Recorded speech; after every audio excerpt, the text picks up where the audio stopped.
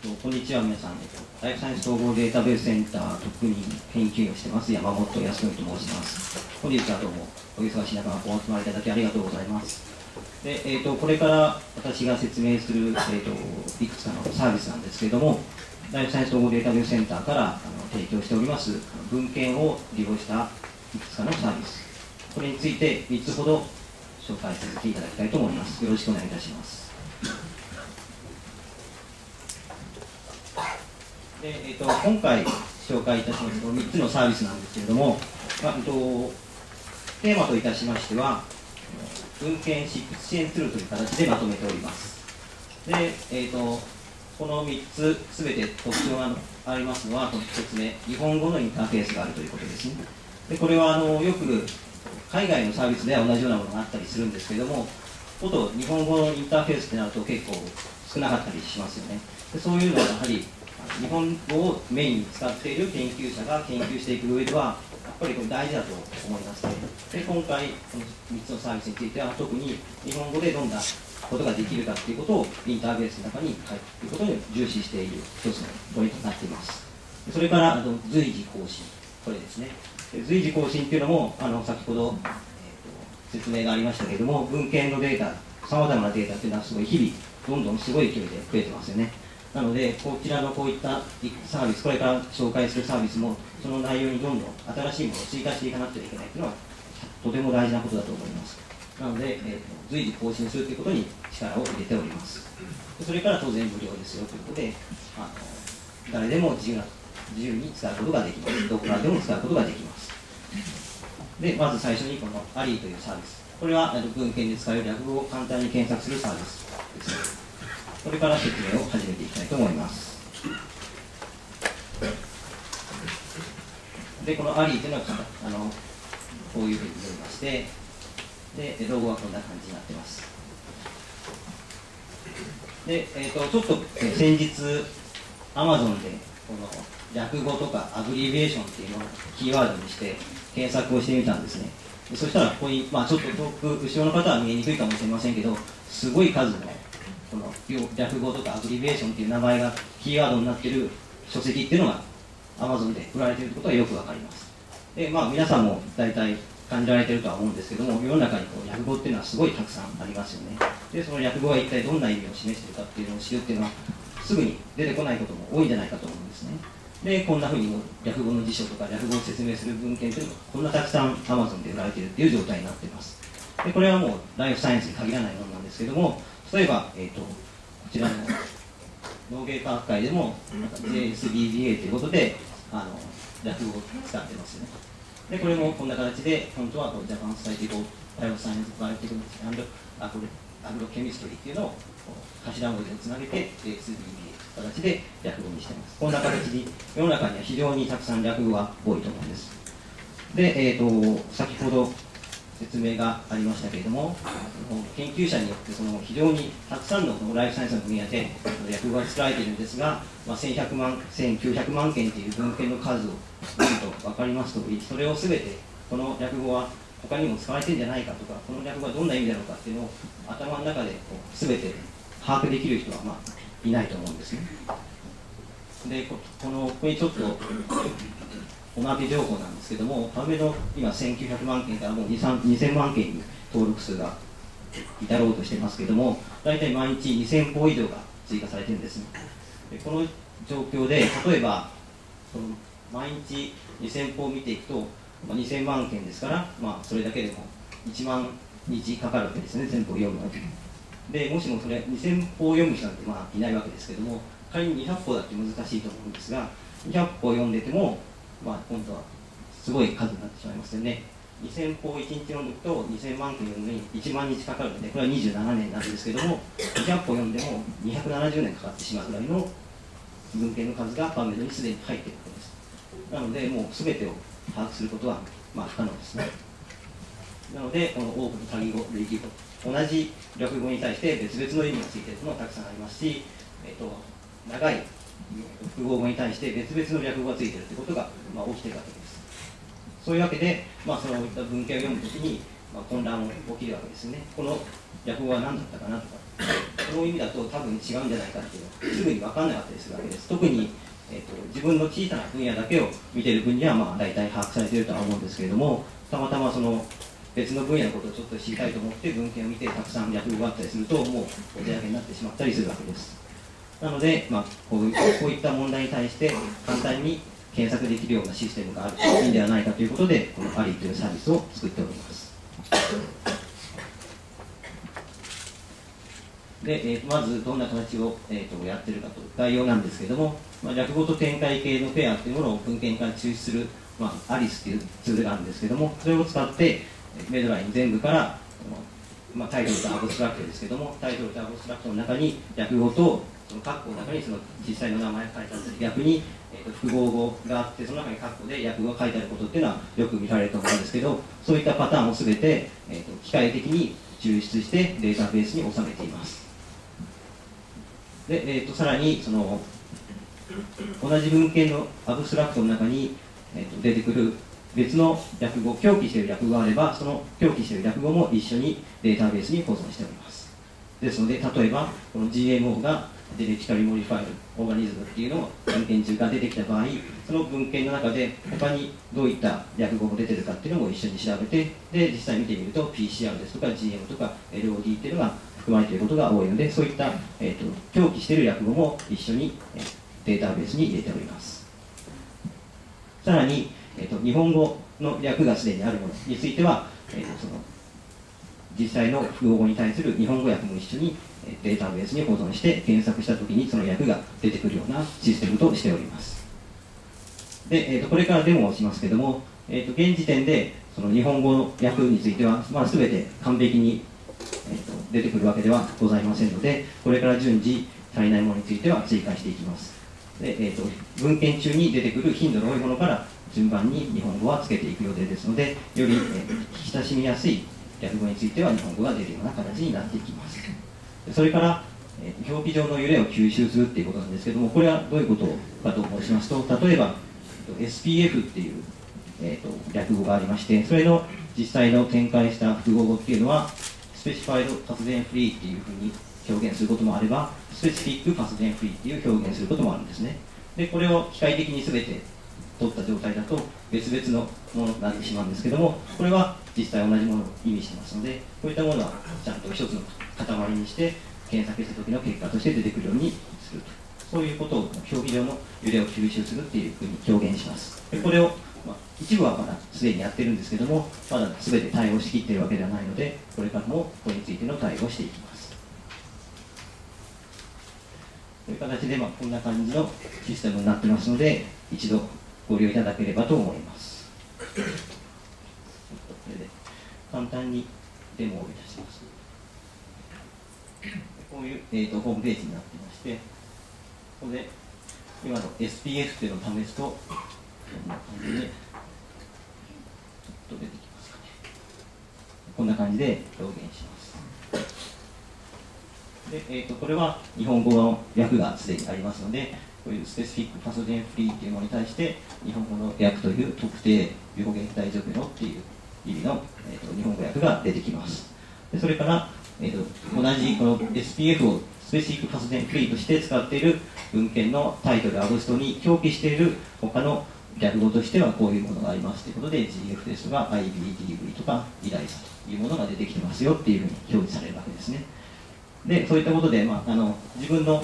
えっと、よくこれから調べようという略語についてその表記している略語を見れば自分のあの親しみやすいものが出たりすることがあると思うんですけどそういった形で実際これから自分が調べようとしている略語について、えー、簡単に知ることができるようなサービスを目指しています。例えばこのサンプロテクションファクターですと UV とか UVR だとかっていうふうにあの紫外線に関するものだっていうのが分かるようなコンテキストが出てくるわけですね。でさらにそれが実際に出てきている論文のカーメの情報がここに表示される形になっています。ぜひご利用ください。で戻ります。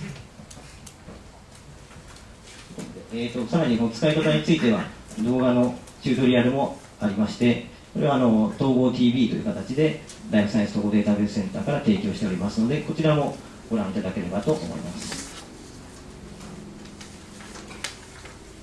さらにあの新しい、毎月毎月更新してるんですけども、毎月更新された略語として新しく出てきた略語がどんなものであるかっていうのを、えまあ、ブログの形式で紹介しておりますので、こちらも先ほどのアリーのホームページからリンクが貼ってありますので、一度、えご覧いただければと思います。時間が経ってしまうので、ちょっと飛ばしていきます、ね、あと、まあ、モジュラを使っている方、Firefox を使っている方は、この右上の検索ボックスにアリーをセットしていただくことが可能ですので、これはあの、えっと、ちょっと時間をかかってしまうので、ブースに来られた場合には説明させていただきたいと思いますので、こちらちょっとスキップさせていただきます。で続いて、インメクセズというサービスについて説明させていただきます。でこれは文献中に書かれている英語表現を高速に検索するためのシステムです。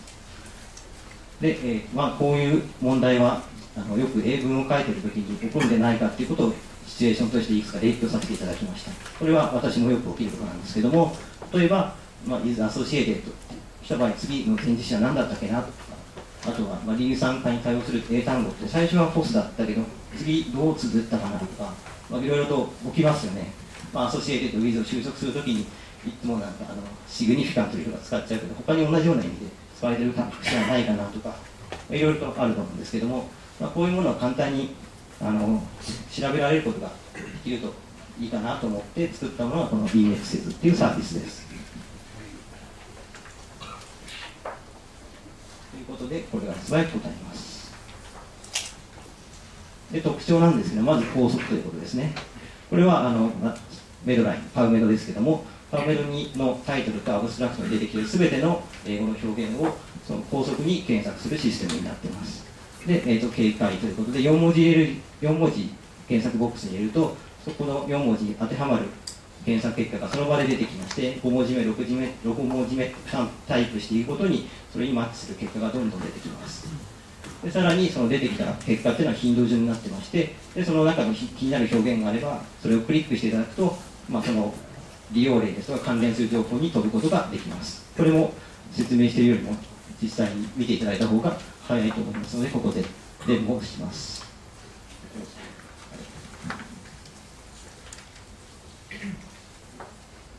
こんな感じのホームページになってまして、で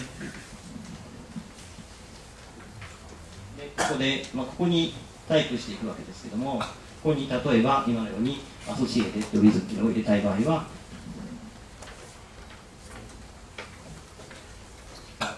押していくとその場でも結果がどんどんこういう形に出てくるわけですね。で、そうするとここに、まあ、with っていうのが一番、これがあの、 MEDLINE 全体の中で、このアソシエテッド with っていう表現が出てきてる回数なんですけども、こんな感じで頻度順に出てきます。なので、 associated と入れれば、もう次はもう、with が出てくるのが非常に多いよっていうことがすぐにわかるということですね。で、さらに、これをクリックすると、いくつかリンクになってるんですけど、デフォルトでクリックすると何が出てくるかと言いますと、まあ、 Life Science Dictionary っていうのはご存知かと思うんですけども、 Life Science Dictionary のこの共起リストがありますよね。これを、えっと、にリンクしてまして、 associated with っていう表現が出てきている実際の文献中のセンテンス、文章を見こて見ることができます。で、実際この文表現っていうのはどんなコンテキストで使われているかということをすぐに調べることもできます。そしてここをクリックすると、実際のメドラインのページに飛ぶことができますので、さらにその文献情報について簡単に取得することができるようになっています。ぜひこちらもご利用いただければと思います。でまた戻ります。ということで、えーと、これはこういう形で、インメックスで検索していただくと、このページにすぐ行くことができます。これすべてあのブースに来ていただくと、その場で皆さんあの体験していただくことができますので、ぜひブースにもお立ち寄りいただければと思います。で、これも同じようにえ統合テレビで紹介してますので、そちらも参照していただければと思います。この統合 TV ですとか、えーと、インメッセージって入れれば、こういう実際の統合テレビのページにあの検索エンジンがあのリストアップしてもらいますので、そこでクリックしていただくとすぐにアクセスできます。これがインデックスというサービスです。で、えー、と次、最後のもう一つのサービスの説明に移りたいと思います。これが統合ドック、統合ドッククライアントというサービスになってまして、でこれは何をするためのものかと申しますと、文献情報と PDF ファイルを効率よく整理するためのものになっております。でこれも、まあ、よくあることですけど、まあ、日々流される情報が多いということで、2000万件の文献があったりとか、もうデータベースもすごい増えてるということで、もう一人の人間が頭の中でこう整理するにはとてももう限界があるような状態になっているんですよね。でさらに最近はあの電子ジャーナルが非常にいろんな出版社から提供されてますので、えー、と皆さんも自分の興味のある文献を実際 PDF、パソコンの、えー、とホームページじゃないの、えー、とパソコンのウェブブラウザーでご覧になったりすることも多いかと思うんですけども、そこで PDF ファイルを見た後、その PDF ファイルはどうなってしまうかというと、大体そのままそのディスクに、どっかにディスクに入ったまま放置されているということが多いんではないかと思うんですね。ででも、そこに放置されている P. D. ファイルっていうのは皆さんの興味を示してるわけですよね。1つや2つならまだ分かんないですけども、例えば20本とか30本の PDF がそこに入っていれば、それはもうすでに皆さんのその興味のある文献がそこに入っているわけですから、そこから、えっと、機械的に興味のある分野はどの辺かということを見るのには非常に有用なリソースになっているわけです。そういうことで、まあ、今日、えー、ここにあるように研究者の興味を把握して情報整理に役に立てられないということでモチベーションがありまして始まったシステムです。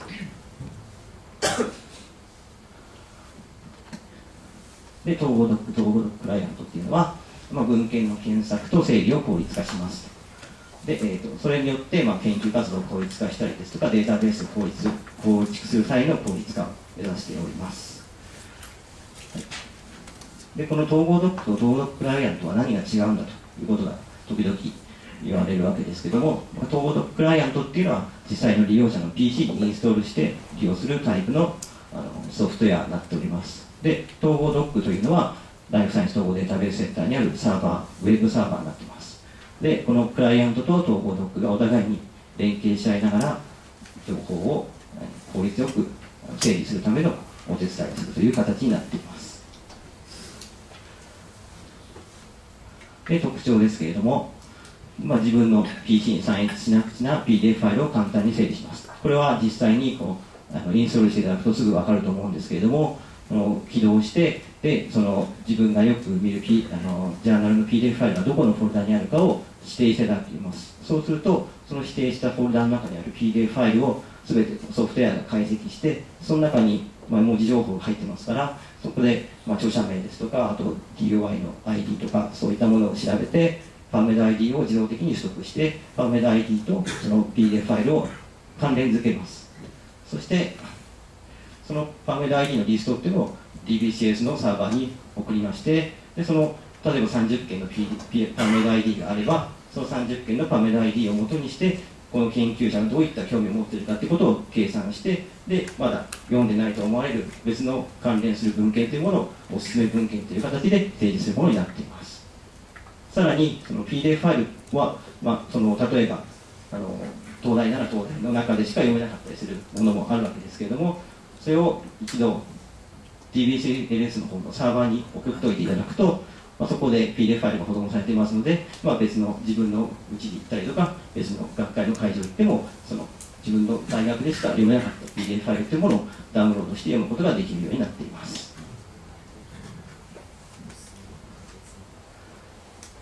ああと、まあ、もう一つのおまけという形で重要だとは思うんですけども、まあ、よくそのオンラインジャーナルでダウンロードできる PDF ファイルのファイル名というのが13596とかよくわかんない名前になったりするとは思うんですけども、それも例えば著者名にしたりとか、ジャーナル名にしたりという、まあ、利用者のカスタマイズに応じた形での名前付けを自動的にすることもできるようになっています。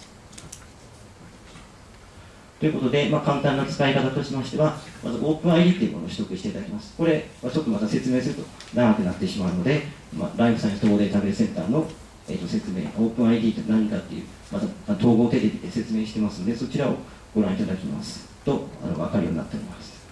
でまあ、OpenID というものをま取得していただいて、でそれから統合ドッククライアントをダウンロードしてインストールして、さらに、まあ、PDF ファイルがどこに保存されているかということをそこにしていただくと、全ては準備完了と。あとは解析が始まって、えー、と推薦する文献も出てきますよという形になっています。えー、と今後ですけども、えっとまあ、あの現時点ではあの PubMed の PubMed Related Articles っていうあの検索があのご存知の方もいらっしゃるかと思うんですけどもその利用あの機能を、まあ、利用している段階なんですが今後はよりどの、えっと、文献のどの単語が重要なんだとかどうしてこの文献が推薦されたのかなっていうことが分かるようなあの形のサービスを目指しております。それからえ実際あのラボの中だとあのウェブページを見るときに、まあ、プロキシーっていうものを指定したりしなくてはいけないっていう環境がいくつかあると思うんですけどもそういった環境でも簡単に使えるようにしていくっていうあの今後の改善点があります。さらに、まあ、今までいくつかあの利用していただいた方々からフィードバックをいただいておりましてその結果として、まあ、もうちょっと使いやすくするのはどうすればいいかということをいろいろ今検討しておりますのでその結果をこれから反映させていきたいと思っております。でそれぞれ、まあ、こういったホームページがあるんですけども、まあ、これも統合ドックで検索していただければ全て、えー、見つかるようになっておりますので一度お試しいただければと思います。でこの Twitter であの情報交換もしてますのであの Twitter でこの統合ドックのユーザーのところにアクセスいただくと、まあ、こんな問題があったよとかちょっとここは使いにくいなっていう簡単にそのフィードバックを書いていただけるんではないかと思いますので、ぜひこちらも使っていただければと思います。